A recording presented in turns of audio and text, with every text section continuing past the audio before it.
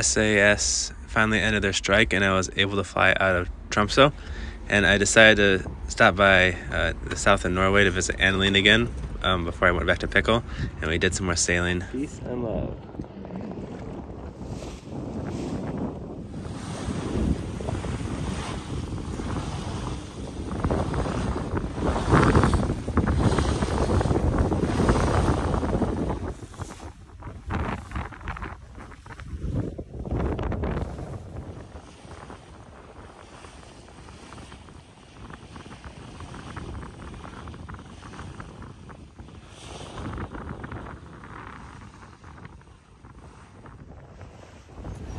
We're back on Rodeo Jones, and we're gonna sail to this little island. We're gonna try to camp out if the weather is good.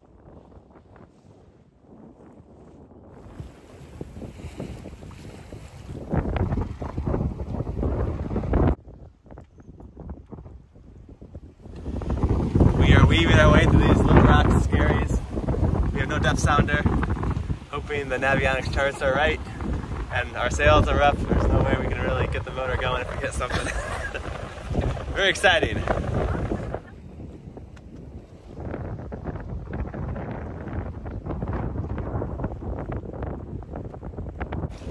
So it's a really cool potential anchorage and it's pretty protected.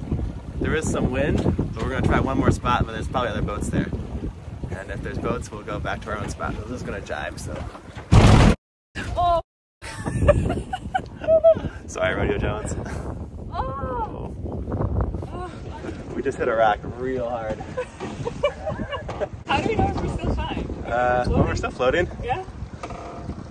That will just go and motor back onto that little. I mean, we can swing to shore. yeah, no. I've never hit something that hard. I got so scared. Oh my god. We just bounced right off of it though. No problem. Shoot, I wish we had a mask to go down and look. Okay, so this is gonna come back over again. Oh my gosh, the noise. yeah, I was so. Let's take a look down here.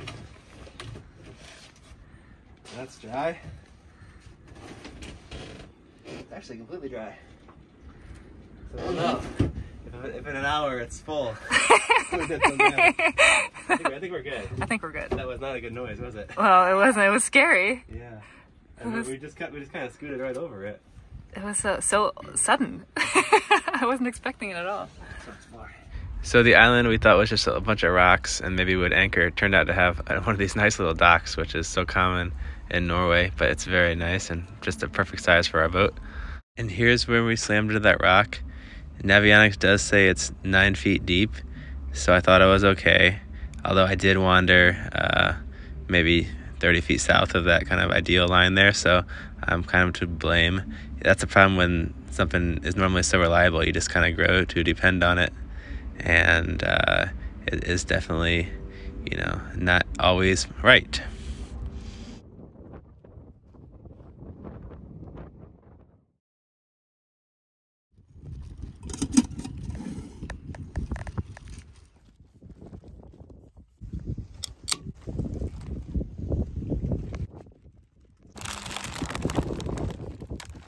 Oh, I saw the onion. There it is. There.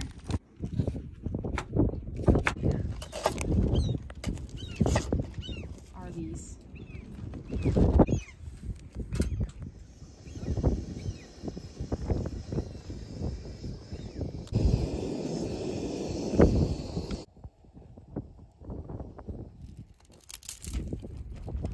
Okay, now you roll this.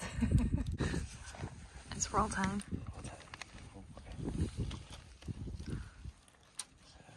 I think you needed more in this. Uh oh. Uh oh. Uh oh.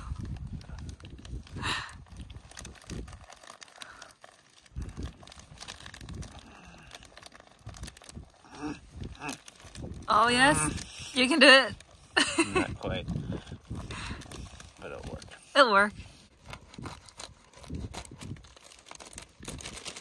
Yum! All the deliciousness. Good. They jump from that rack to that rack. This one, the, this one right there, yeah. Okay, are you ready? Yeah, do it.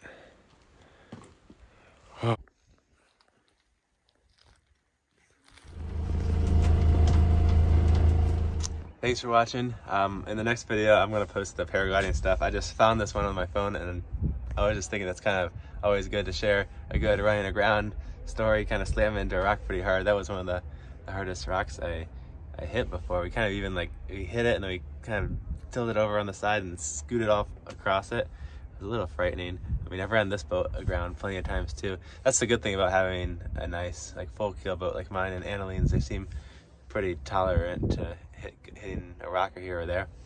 Um, if anybody else has any good like stories going aground, they're always fun to share. So leave them in the comments.